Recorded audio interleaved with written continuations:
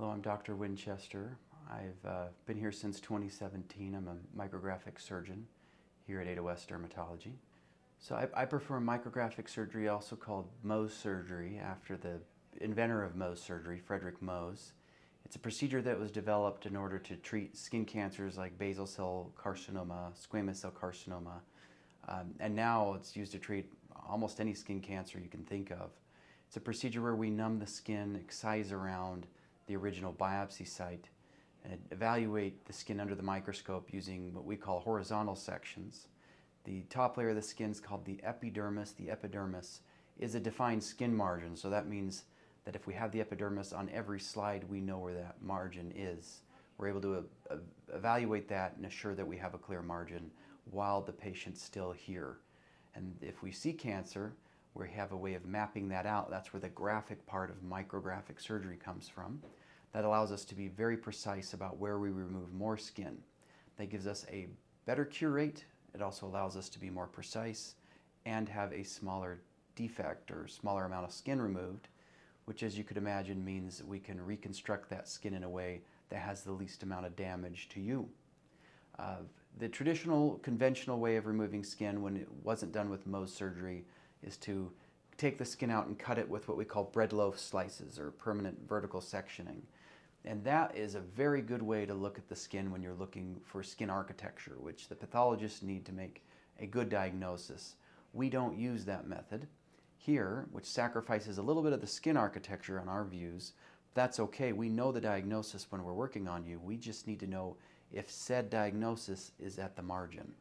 And that's why we use our horizontal micrographic surgery or Mohs sectioning to give you that precise, clear margin with the least amount of damage to you. So that way when you leave here, you know that your cancer's been removed and that it has the best cure rate that it could possibly have. And that also means that when you walk out of here, you know we've done the least amount of skin removal on you that we could do. So to be able to have the best cure rate and the least invasiveness, that's a very unique thing. That's why Mohs surgery stands as the gold standard and is yet to be replaced. For most patients, what happens is this is an outpatient procedure. So you arrive at our, our clinic, you're treated in a surgical suite just like this. It might even be this very same one here. Uh, you check in at the front, we bring you back, we do some vital signs on you and go over history with you to make sure we've uh, looked over anything that might be related to our surgery and can address that. And then uh, your experience here is that you're awake during your procedure while we're working on you. We're very, very aware of that. And so we assure that we, uh, after we've marked everything out and kind of described this procedure to you, we, we numb your skin and we have a little distraction technique we use for that where we vibrate your skin and then uh, inject it as it's being vibrated to distract you. And once it's numb, it's, it's numb. And we keep re-numbing it every time we come back if we have to take more skin or do the repair, but usually you don't feel much of that. So your experience here is you come and you sit down and go through all that process with us, and we take great pride in being able to get you distracted. In fact, it's one of my favorite parts of the job, is to get your mind off of your surgery, swept away into something else, while we focus intently on getting your cancer removed and then getting you fixed up. So generally, you come, you, you, you get the removal done, it takes us a mere few minutes, and then you spend some time waiting while my lab is processing it or Dr. Thorpe or Dr. Boothman's labs. Uh, it's all the same type of procedure. And then if we need to take more skin, we bring it back, we remove some more. We do it till it's all gone. Over 90% of the time we get it in the first two attempts. So we're generally not trying to keep you here all day. It's, it's the benefit of you and us to get this removed efficiently. And then we, re we repair it, and uh, that can take a few minutes. So you're here usually for a few hours, sometimes very short, sometimes a little longer than that. Um, and a lot of the time you're waiting. And uh, whether that's in the room here or in the waiting room. And then we leave you with a bandage, a set of instructions that includes a video that you can watch that goes over wound care and bandaging. You have all, my phone number available to you or Dr. Boothman or Dr. Thorpe's phone number if you're treated by them. Uh, that way you, uh, we don't cast you off into the wilderness alone. We're here for you at any time of the day if you need any help afterwards. Uh, but between our instructions and everything, most of our patients go home very comfortable knowing how to manage it over the next few days. And then we'll check in with you and oftentimes remove sutures and if needs be, uh, follow you up in consecutive visits afterwards. Oftentimes that's not necessary, So that'll all be determined your day of your surgery. A lot of patients ask how large will their scar be? That very much deter is determined by how large the cancer is and the location of where it is. We are very interested in getting your cancer removed and reconstructed with the least amount of invasiveness possible. That's one of the things that Mohs surgery does that makes it so unique. So we can't really determine that. Like I said, if you were to grow a skin cancer right at the tip of your nose versus right in the middle of your cheek, those are going to both require different types of repairs. Your nose is, for example, a very dynamically convex surface. It's got a lot of unique anatomy. Doing a real simple side-to-side closure oftentimes isn't available as an option um, without distorting your nose. So that might, might require a little bit of finesse work by us to move the skin around in a way that's going to maintain the shape and form of your nose. Whereas in the middle of your cheek, they can get quite large, and we can still repair them by just pulling them together in a nice thin line. So, and another thing to keep in mind is when Dr. Thorpe or myself or Dr. Boothman work on you, our number one priority, of course, is to get the cancer out. But after that, it's to reconstruct your face to put your symmetry back. And, and so when we look at each other, we don't notice people's lines. We, you might think that they notice your lines, that they really don't. They notice whether your face is symmetric or not. So if we reconstruct anything, we want your facial symmetry back in, so we don't want divots, dents, or bumps. So we're going to make that line in a way that's going to assure that your cheek or your nose or wherever we work has got its contour and shape back without any asymmetries, because that's the most important thing for when somebody looks at you. Once we're done repairing you, you will have a usually have a scar. That's it's hard to remove skin and not have scar tissue form. Of course, we do everything we can to optimize that so that you have the least amount of scarring you could possibly have. And then after that, it'll take some time to heal. You know, we cut through the skin and suture it up, you know, it's a relatively deep injury. It's going to take some time. It's going to take a few weeks at least to get sealed over. Then there, there's often a course, depending on how far we went, where it might be a bit discolored. And we'll give you lots of instructions that talk about protecting your skin from the sun. The sun can make your scar more prominent. So using sunscreen and covering it's going to be important. Um, we want to keep the scar moist, and we have some some products available that can help put that scar line in the most optimal uh, position available, such as Silagen. Sometimes Vaseline alone in certain people's scars is going to be sufficient for that.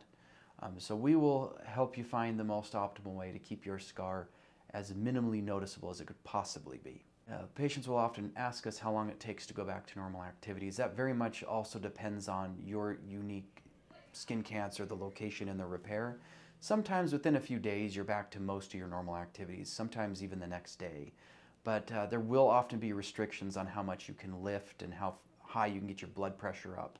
Because once we remove these skin cancers, frequently they require some suturing and those blood vessels once they're sutured down they're still a bit fragile. And if you get your blood pressure up or if you put especially if you put tension or torque on that scar line that could really compromise it. So we get into specific details during your surgical day. But uh, in, in some cases that might be a couple of weeks before you do anything really strenuous. But for most patients, within a day or two, they can start you know, moving around the house, going up and down stairs, uh, attending their daily activities, even usually the same day for those. But we'll get into specific detail your day of your surgery. Some patients will ask, does somebody need to drive me? Uh, for most cases, patient, we would want someone to drive you. There are rare exceptions, but it's often nice to have someone here who can take you back home, especially if we're working in the middle of your face. The, even though the spot might not look like it's by your eye, by the time we put a pressure dressing on there, which is a really a requirement to keep you from bleeding, the bulky bandage might limit some of your visual field. So having someone who can drive you is helpful. Like I said, there are occasionally exceptions, and our schedulers can discuss that with you. Uh, patients will often ask how they prepare for their surgery. It's important to know that if we're just doing the surgery and the reconstruction for you, which is the case 97% of the time, you can come, you can eat and drink, you can take your pills like normal.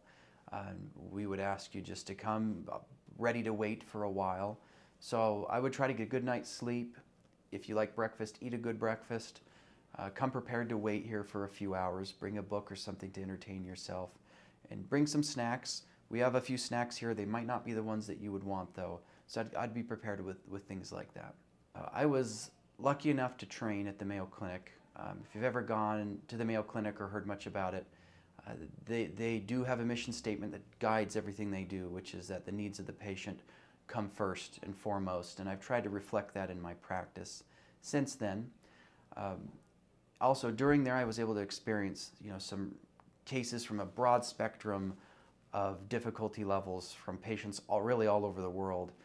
Since then, I've come out here to Idaho and realized that I have we have quite an enormous catchment area. Dr. Thorpe, Dr. Boothman, and I, in a way, kind of act like a, an academic practice here in that we get referrals from the entire region, including very uh, rural areas where patients don't have very good access. And these cancers can be very, very large and aggressive. Um, and so that's been a wonderful experience for me and for my two partners. And it's also meant that we've done a very large volume of cases. At this point, even at my relatively young age, I've done nearly 14,000 cases. I think I was once telling someone, I don't think there's a square millimeter on the human body's skin that I have not done surgery on multiple times. Uh, so that, that vast experience in such a short amount of time, due to the narrow practice scope that I have, has been a wonderful thing for me. It's provided a lot of confidence to myself, for our patients in our practice here.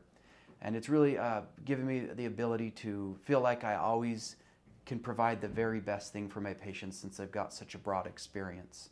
And I know if I have some, if there's some other thing out there, uh, patients will often ask me to, because I'm a dermatologist, to treat their veins or something like that. And I'll often tell them, I want the person to treat this for you that does it the most and has the best experience. And that means that it might be somebody else. I can feel confident that myself and Dr. Thorpe and Dr. Boothman, when we treat your skin cancer on your face, we treat it more than anyone else does. And we have the broadest experience. And I can feel confident looking at people in people's eyes and telling you that I, that I, I can give you the very best treatment that there is for this problem. And I love providing that kind of hope to people and that confidence. We love, we love getting involved in uh, answering your questions, and, and I don't think there's anything that makes me feel better than having someone show up anxious here and then just seeing that anxiety just go away during the visit, knowing that they, they can sense that they're in the right hands and that their problem is getting addressed. I think that's probably provided the most satisfaction of anything I've ever, I've ever done um, in, in my job is just knowing that I can give people the very best treatment they can get and also give them that sense of relief and just, just watch that anxiety just flow away.